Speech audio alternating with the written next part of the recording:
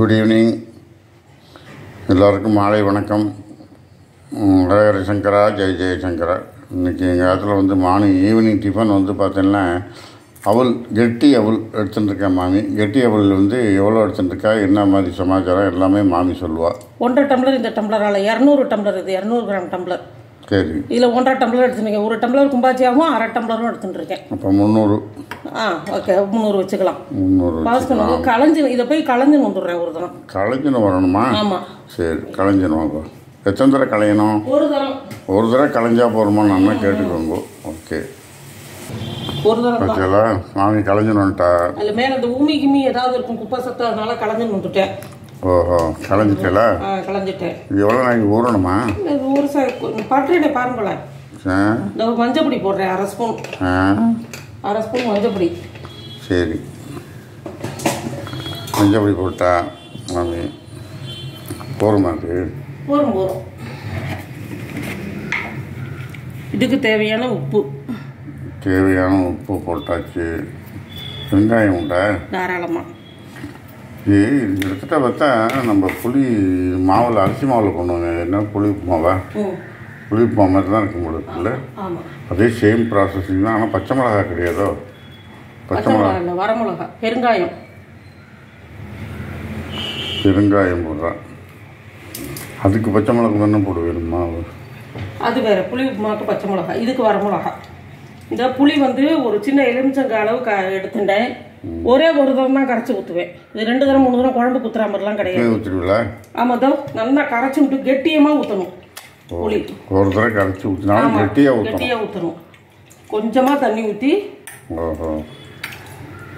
கொஞ்சமாக தண்ணி ஊற்றி நல்லா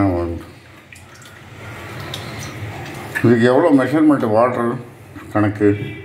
வாட்டர் கிடையாது. புளி தண்ணி வந்து ஒரு கா டம்ளர். கா டம்ளருக்கும் கம்மியாக இந்த அவ்வளோதான் அவ்வளோதான் ஓஹோ. கிளறி வைக்கணுமா? ஆமாம் இந்த கரண்டி வச்சு கலரிடுவேன் சில கிளறணுமா கலரிட்டு. இல்லை இந்த சின்ன ஸ்பூன் இருக்குங்க அதெல்லாம் கிளறணும் எதை கரண்டி நம்ம யூஸ் பண்ண போகிறோமோ வச்சுக்கோங்க. அப்போயே இது பண்ணிக்கலாம். இதை அப்படி கலரிக்கலாம்.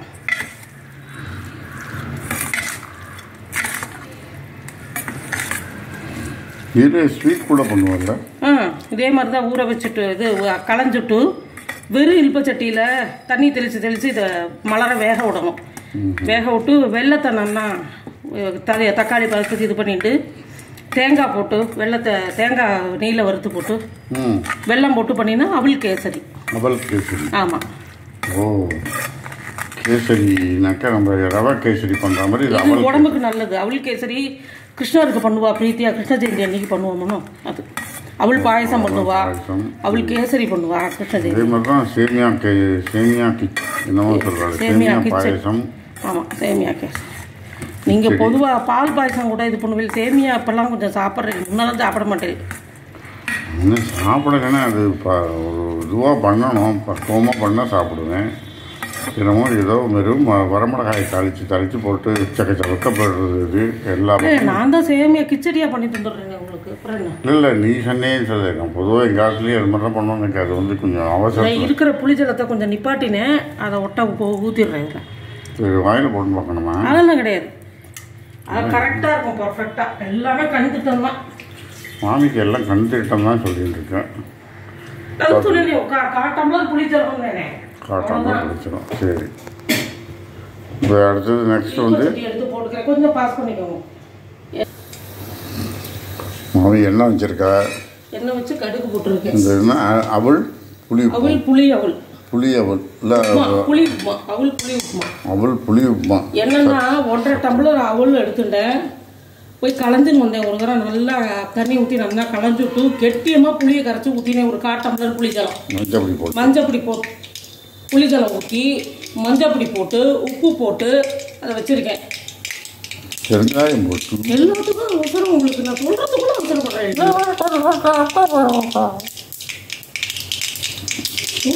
கடுகு போட்டிருக்கா மாமி. அடுத்தது என்னடி போட்டேல்? என்ன போட்டேல்? உளுத்தம் பருப்பு மிளகா தூள் கடுகு போட்டேன் அப்புறம் உளுத்தம் பருப்பு மிளகா தூள். இது புரிய உரப்பு வேணுமோனோ அதுக்காக.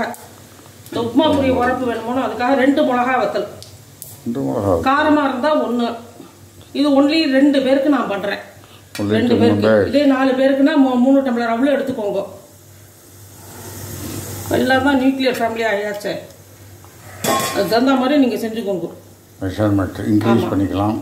செவந்து விட்டா இல்லை இன்னும் கொஞ்சம் சவக்கணும். கருவேப்பிலை எல்லாம் கிடையாது அதுக்கு? உண்டு உண்டு தாராளமாக உண்டு. ரெண்டும் எடுத்து வச்சுக்கலாம் நானும்.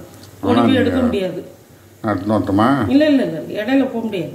அப்புறம் இப்போ பருப்பு வெடிக்க விட்டுட்டு என்றைக்குமே அண்ணன் போகக்கூடாது. பீஞ்சு போடும். ஆஹா பீஞ்சு போடும். கடைசியாக போட்டுக்கலாம் இப்போ என்ன கருவேப்பிலையை கொள்ளலாம் இதோ நல்லா செவந்துருத்து எப்பொழுதுமே அடுப்பில் வச்சுட்டு ஓடக்கூடாது.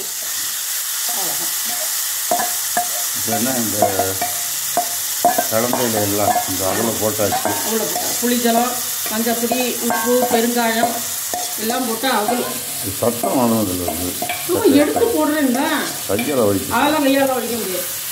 ஏன் என்ன எனக்கு இது பழக்கங்களை கை வச்சு எதையுமே வலிக்க மாட்டேன் நான். எல்லாமே இதுதான் கரண்டி தான்.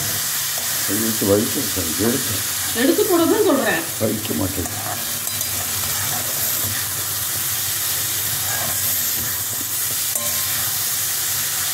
ஓகேல இது சேம் ப்ராசஸ் தான் இதுவும் போல இருக்குது ஐ மீன் சேமியா. ஒன்றும் இல்லை. இது அதுவும் ஒன்றும் இல்லையா? ஸோ அது வேறையா? அரிசியில் பண்ணக்கூடிய உப்புமாவா இது இதோ அது வேற மாதிரி வரும். அது உதுருதுரா வரும். அது வேறு மாதிரி வரும். மாமி ஒன்று ஒன்றும் ஒரு போடுற ஐட்டம் வேணா ஒன்றா இருக்கலாம். அந்த மிளகா என்ன பண்ண போறீங்க? மூட போறீங்களா ஆமாம் அந்த சொல்லுங்க. ஆமாம் கொஞ்சம் நாள் ஆகும் மூடுறேன் பார்த்துட்டு என் கேமராமேன்ட்ட சொன்னால் நான் மட்டுக்கு ஆஃப் பண்ணிட்டு இருங்கோ சித்த. கொஞ்ச நேரம் இருக்கும் நீங்கள் சொல்கிற மாதிரி அரிசி மாவில் ஒரே ப்ராசஸிங் தான். என்னன்னா புளித்தனம் விடுறது உப்பு போடுறது மஞ்சப்பொடி போடுறது பெருங்காயம் போடுறது. கேட்டேன்னா எங்கிட்ட அப்போ நான் சொல்லணுமோ அதை இது பண்ணணும். அதே மாதிரி தான் ஆனால் அது உருண்டை உருண்டையாக வரும். இது மலர்ந்து பூவாட்டம் வரும். சரி. நான் மட்டும் கேமரா பிடிச்சிட்டே கேமராமேன் அப்படி நின்றுட்டு இருக்கேனே. பிடிச்சிட்டே இருக்கும் ஆஃப் பண்ணிடுங்க. இது பாஸ் பண்ணிடுங்க. சரி. பாருங்க மாமி வந்து புளி அவல் சொல்லுங்க. புளிய உள் தான். என்ன ஸ்டேஜில் இருக்கு இப்போ? இன்னும் கொஞ்சம் இன்னும் பா காவாசி தான் வெந்திருக்கு. இன்னும் கொஞ்சம் நல்லா வேகணும். ஏன்னா அதை சின்ன கேஸில் வச்சிடணும் தண்ணிலாம் இனிமேல் தெளிக்கக்கூடாது அதுக்கு. அந்த கலர்ஃபுல்லாக இருக்குது பாருங்க. அதை வந்து சிம்மில் வச்சு மூடி வச்சிடணும் அப்படி. நான் கொண்டு வரப்பெல்லாம் மூடி போடு சரி ரைட் ஓகே. சிம்மில் வச்சு மூடி வச்சுட்டு அது பாட்டுக்கு வந்துட்டு இருக்கும். வந்ததுக்கப்புறம் பார்க்கலாம் நம்ம. சரி. என்ன புளி புளி அவல் புளி அவல் பாருங்க மாமி ரெடி பண்ணிட்டா பாருங்க. உதிர உதிராக வந்துடுச்சு பாருங்க நல்லா ஜோராக அதுக்கு தான் தண்ணியெல்லாம் தெளிக்கக்கூடாது சிம்மில் வச்சு அப்படியே மூடி வச்சிடணும். தட்டை போட்டு மூடி வச்சிட்டோம்னா இந்த மாதிரி ஆகிடும் சூப்பராக ஈவினிங் டிஃபன் ரெடி ஆகிடுச்சு புளியவல் இது வெறுமனையே சாப்பிடலாம் இல்லையா? ஒன்றும் தொட்டுக்கலாம் வேண்டாம். தொட்டுக்கெல்லாம் வேண்டாம். அந்த காலத்தில் வந்து ஒரு சில டிஃபன் கிடைக்கலாம் தொட்டுக்கிறதுக்கே வேண்டியதில்லை. இது சாப்பிட்டு மோர்ந்தான் சாப்பிட வேண்டியதான் மோர் தீர்த்தம் இல்லை மோர் சாதம் இருந்ததுன்னா சாதம். தீர்த்தம் போர் தீர்த்தம் ஸோ ரெடி ஆகிடுது ஓகே எல்லாம் செஞ்சு பாருங்க. லைக் பண்ணுங்க சப்ஸ்கிரைப் பண்ணுங்க ஷேர் பண்ணுங்க. Thank you bye